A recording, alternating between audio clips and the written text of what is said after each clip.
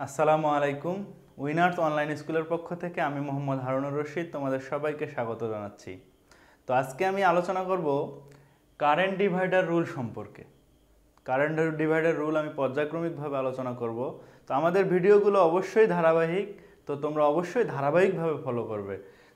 তো আমি আজকে কারেন্ট ডিভাইডার রুলের যে ফর টু ব্রাঞ্চ টু ব্রাঞ্চের জন্য যে কারেন্ট ডিভাইডার রুল ব্যবহৃত হয়, আমি সেটা দেখাবো এখন। তো দেখো, আমি একটা সার্কিট অঙ্কন করেছি, যে যেখানে দুইটা রেজিস্ট্যান্স আছে। তো আগেই বলে নেই কারেন্ট ডিভাইডার রুল অর্থাৎ কারেন্ট ডিভাইড হয়। তো আমরা জানি যে কারেন্ট ডিভাইড হয় প্যারালাল সার্কিটে কেননা সিরিজ সার্কিটে কারেন্ট সমান থাকে এবং প্যারালাল সার্কিটে বিভিন্ন ব্রাঞ্চ ভাগ হয়ে যায়, তখন টোটাল কারেন্ট ভাগ হয়ে বিভিন্ন ব্রাঞ্চে ভাগ হয়ে যায়। অর্থাৎ কারেন্ট ডিভাইড হয়ে প্যারালাল সার্কিটে তো আমি একটা টু ব্রাঞ্চের প্যারালাল সার্কিট অঙ্কন করেছি। তো আমি আগে সূত্রটা বলে নেই। কারেন্ট ডিভাইডার রুলের যে সূত্র, সেটা হচ্ছে branch current equal total current into opposite branch resistance আমরা যদি এই ব্রাঞ্চের কারেন্ট বের করি, তখন অপোজিট ব্রাঞ্চ হবে এটা। এবং এই ব্রাঞ্চের কারেন্ট যদি আমরা বের করি, তখন তার বিপরীত প্রান্ত হবে এটা। তো সূত্রটা হচ্ছে টোটাল কারেন্ট ইনটু বিপরীত প্রান্তের রেজিস্ট্যান্স অর্থাৎ অপোজিট ব্রাঞ্চ রেজিস্ট্যান্স এবং total resistance of two branch অর্থাৎ আমরা যেই দুই ব্রাঞ্চের ক্যালকুলেশন করতেছি, তো সেই দুই ব্রাঞ্চের রেজিস্ট্যান্সের যোগফল।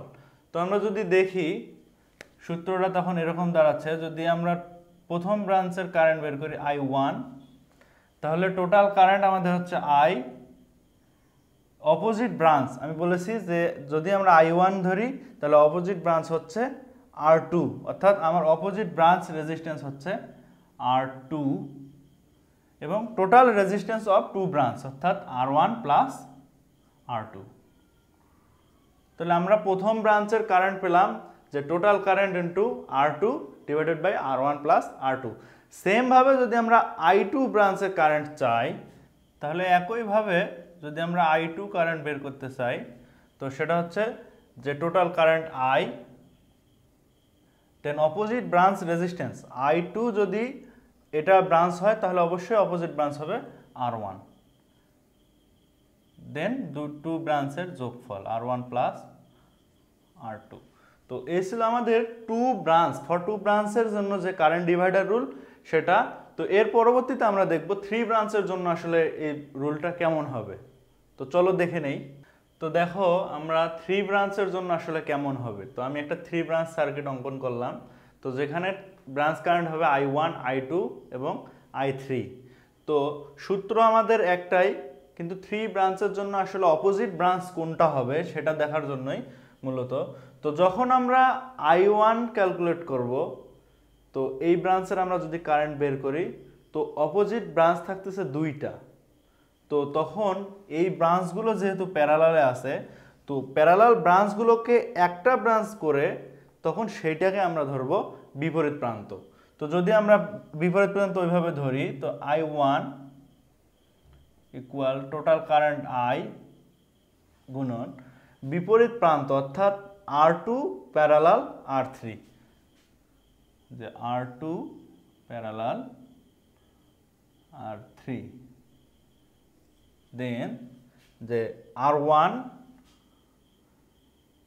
প্লাস তো আমরা আগে বলেছি যে R two parallel R three করার পরে একটা ব্রাঞ্চ হয়েছে। তাহলে টোটালটাই আমাদের এখানে দিতে হবে। R two parallel R three তো সেমভাবে যদি আমরা এখন আই টু ব্রাঞ্চের কারেন্ট বের করতে চাই, তো দেখো যে I two equal total current I গুণন বিপরীত প্রান্ত, অর্থাৎ আমরা দেখতেছি বিপরীত এটাও হতে পারে, এটাও হতে পারে।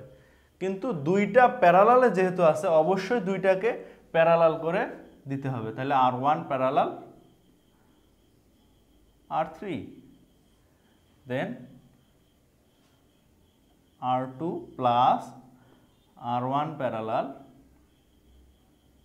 R three তো একইভাবে যদি আমরা আই থ্রি বের করতে চাই, তো তখন বিপরীত প্রান্ত হবে যে R one parallel R two. তো আমরা দেখি I three equal I, R one parallel R two.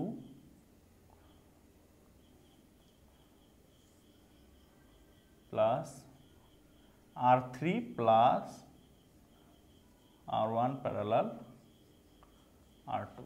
তো তখন আমরা পেলাম যে যদি যে কোনো একটা ব্রাঞ্চকে আমরা কারেন্ট বের করতে চাই, তো তখন অপোজিট ব্রাঞ্চ হবে বাকি যে দুই ব্রাঞ্চ থাকবে, তার প্যারালালের সমতুল্য রেজিস্ট্যান্স তো এ ছিল মোটামুটি থ্রি ব্রাঞ্চের জন্য। তো এর পরবর্তীতে আমরা জানব হচ্ছে মিক্স সার্কিটে যে ব্রাঞ্চগুলো আসবে, তো তখন অনেকগুলো সিরিজ এবং প্যারালাল ব্রাঞ্চ আসবে। তো তখন কীভাবে আমরা কারেন্ট ডিভাইডার রুল অ্যাপ্লাই করব? তো আজকে এই পর্যন্তই। কারেন্ট ডিভাইডার রুল পার্ট ওয়ানে তো যেহেতু আমাদের ভিডিওগুলো ধারাবাহিক, তো অবশ্যই তোমরা ধারাবাহিকভাবে ভিডিওগুলো ফলো করো। আর এই ভিডিও থেকে যদি তোমাদের উপকৃত হয়ে থাকো, অবশ্যই বন্ধুদের মাঝে শেয়ার করো।